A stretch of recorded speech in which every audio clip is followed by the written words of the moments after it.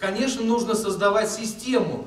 Но разве не министр или контролирующие органы должны четко были и ясно сказать той же управляющей компании, если в сентябре, октябре месяце люди не получили должного а, качества услугу, разве они не должны были вернуть деньги?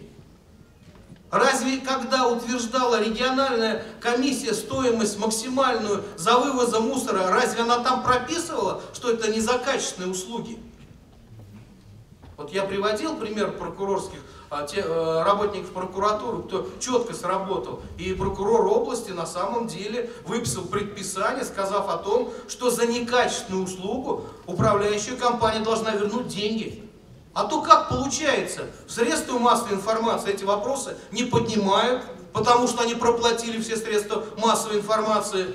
Ваши Балаковские, молодая гвардия вышла перед Новым годом а, с требованием, чтобы вернуть деньги. Их, значит, привлекает, начинает к ответственности.